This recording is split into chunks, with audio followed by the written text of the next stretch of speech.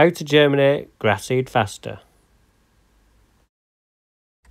So, as part of getting the seed up and running uh, for our two day challenge, I am cheating a little bit, but as you'll see later in the video, I call it circumventing. First of all, I take some really hot water, not boiling water, just very hot water, and I pour all the seed that I've weighed out into it.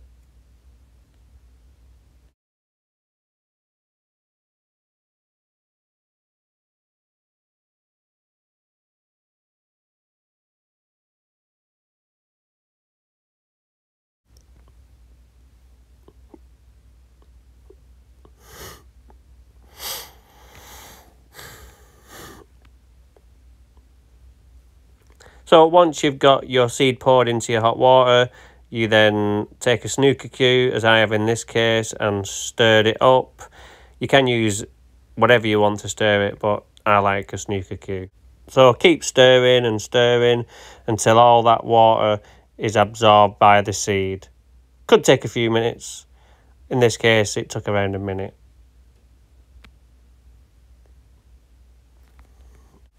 So what we're going to do is we're going to leave this to simmer in the hot water for around six to eight hours. If you can leave it eight, perfect. And then that husk absorbs the water and the seed receives a signal for it to start growing.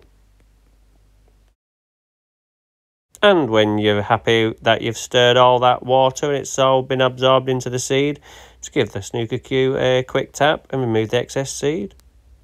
So I left it for eight hours and it's actually half nine at night now and it's outside. That's why the picture's a little dark. So what I've done is I've took my best sieve out of the drawer that I use to cook with and bake cakes, etc. And I'm just draining off the water off the seed just to enhance the drying time. This is the leftover water from the seed. We're going to save this, bottle it and spray it on the seed when it first comes through because it's got the biostimulant in it. Just another idea to get rid of some of the excess water is that we're going to put the seed into the fleece over the flexi tub and I've taped it round and then I'm going to remove the tape and then wrap the excess fleece into a bomb and press all the water out of it. So now I've squeezed all the excess water out of the seed, it's time to just put it in some tubs and let it dry, turning occasionally just to make sure the bottom section doesn't stay wet. I've put a piece of cardboard in the bottom of there just to see if we can absorb some of that water into the cardboard.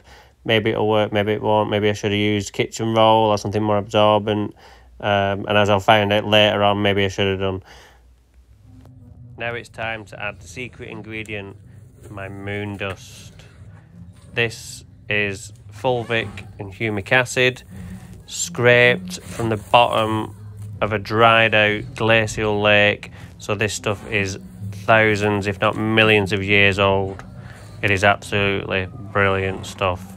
I forgot I had it in the shed, so I've brought it out today to enhance performance.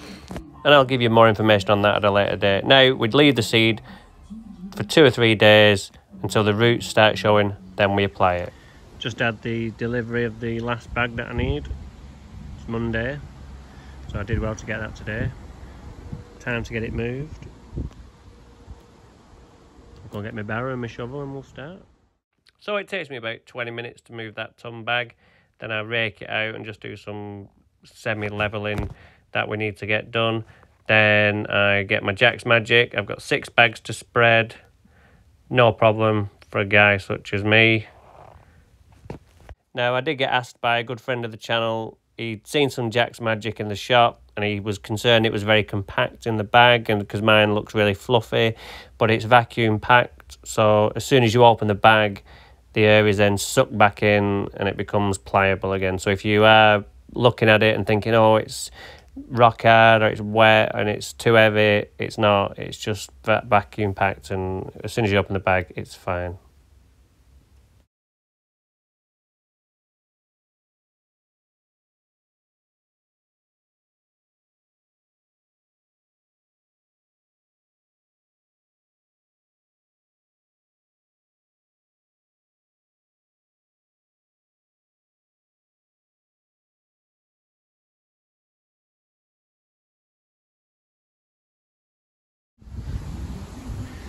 Right, so have you just seen me spread six bags of Jack's Magic? Well, you didn't see me spread six bags. You probably saw me spread half a bag, but I did spread six bags.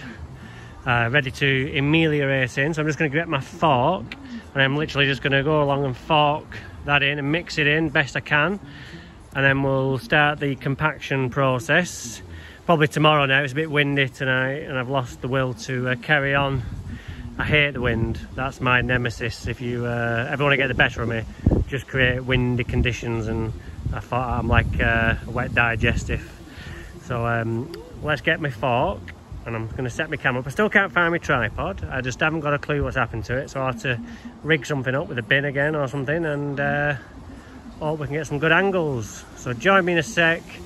And when you see me next, I'll have my fork, but I won't be doing any aerating with it. I'll just be mixing in this Jack's Magic into that sandy root zone. Now I've actually left my fork at another job yesterday I think so I'm going to have to improvise with my edging tool but it's as good as good as remember I only use tools that you find in a shed for this kind of work so this'll do.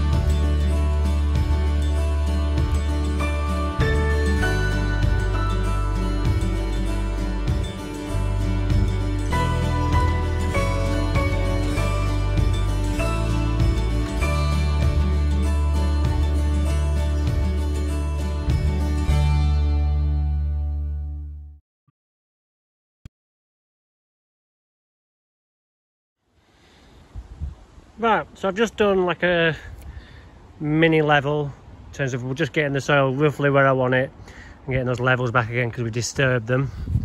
Now I'm just going to put you on time lapse again and then you'll see me do my favourite uh, march to the penguins but I won't do it to Rocky music this time. I'll just let you see me doing it and uh, you can enjoy it that way because I'm pretty sure you didn't enjoy it last time.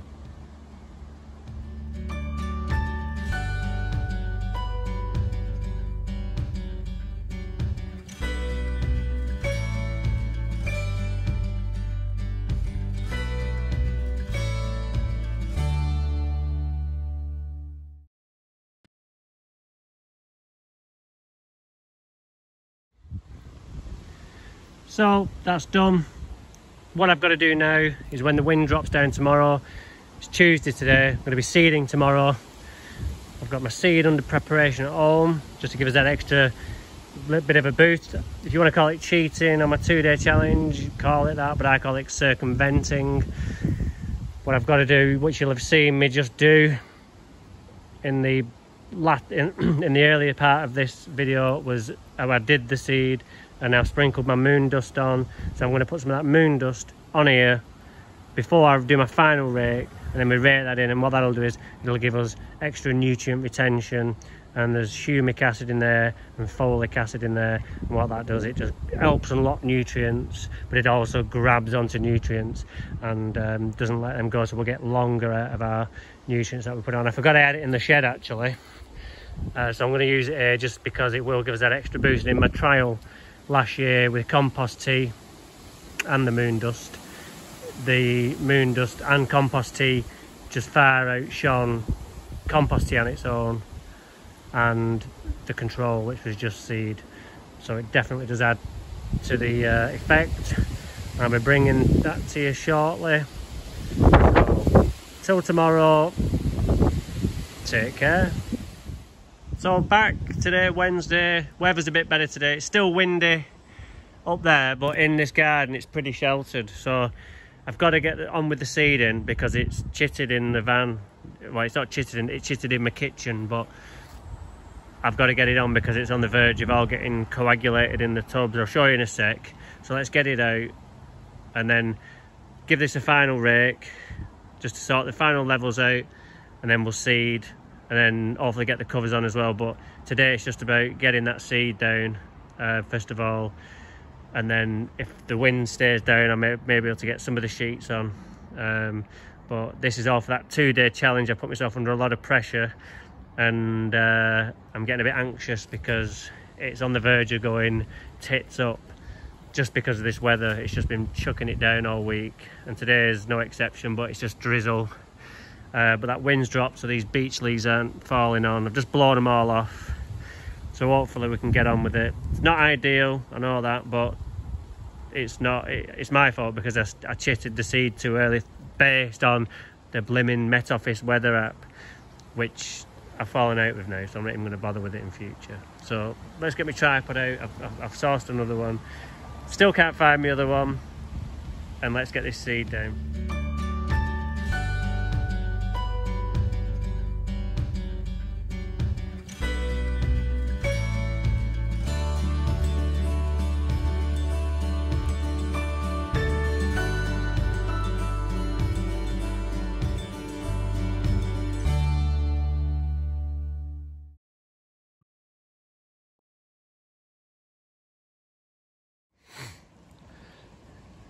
So I've just done my final rake there. What I want to do now is I want to spray my compost tea just to get that biology working in there and get the application of Steller going on there as well I think just to give things that extra boost for that two day cycle we're going for now what I did hope to do was put um, what you've just seen me put um, the moon dust sprinkle that on here beforehand but it's too windy for that. It's very fine powder.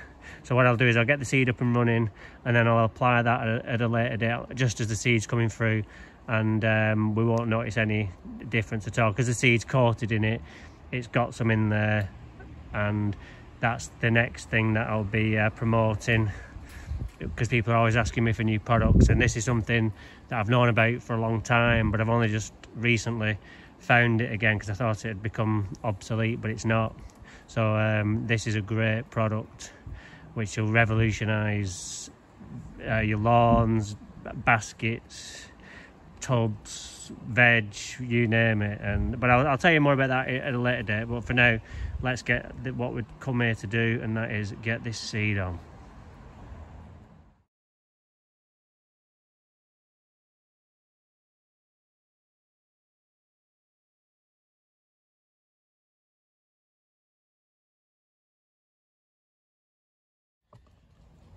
Just wanted to show you my seed. I don't know if you can see on there. But you just see some of the the roots that are uh, just beginning to come out. If you're going to do this approach. You've got to be on the ball because if you leave it just too long they just create a massive mass. So this is just on the cusp. I probably started the process a day too early to be honest.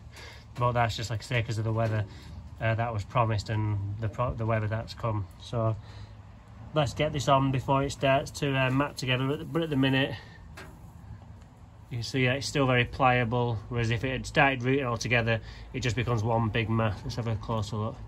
See all those little roots coming off now? So we're on our way to getting that two-day challenge once down.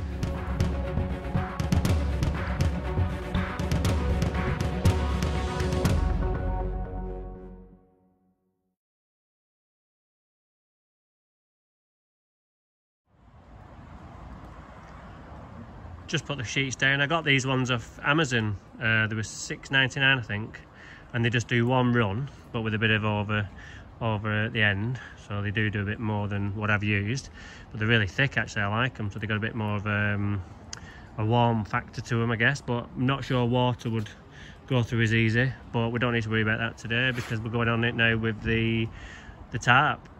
So let's get that on, and then we're done. Right, 18th of August, Wednesday, two day challenge. It's 20 past one, so the sea's just gone down. A few challenges with that.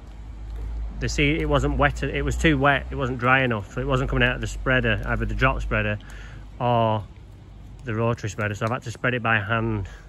Um, so this job could yet turn into a bit of a disaster because because it was so dark with the uh, the moon dust that I sprinkled on and the compost in the soil is so dark I couldn't really see where I was going so I had to just cut it off into like sections and um, just by eye just try and see where I've been. I think I've cracked it but two day challenge it's 20 past one so 20 past one Friday in two days Bolton beat Lincoln last night and just as a reference point so it is Wednesday I know they won last night won 2 1 uh, 1 nil at Lincoln. Um, right, it's 25 past 1, just 5 minutes over the two day challenge of Can We Get Grass. Let's have a look.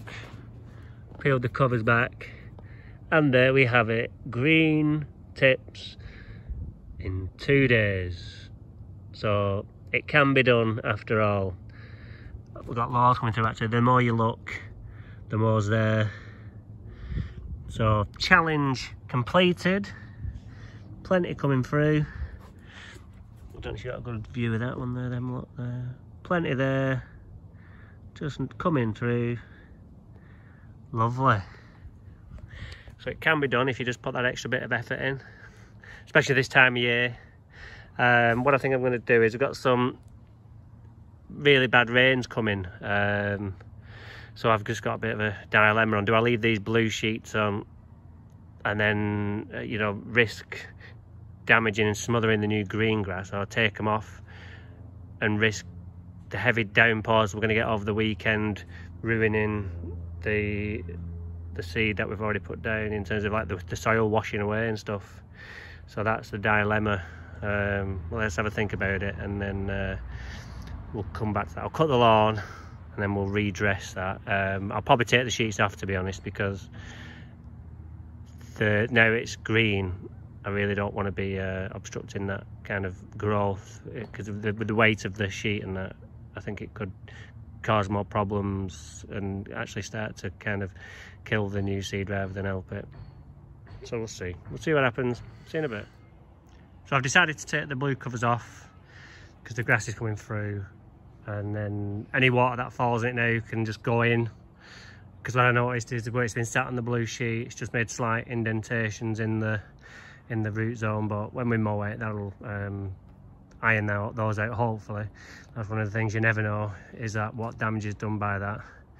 But we'll sort it. Even if it does have undulations in it we'll just top dress it and uh, that will soon sort that out. So no worries about that. Off now. We'll revisit Monday after all the rain we've had assess the damage then but as far as I'm concerned two day challenge met. You can do it. You can just follow what I've done in the video. I've done nothing else. And you too can get grass growing in two days. So have a good weekend and I'll see you soon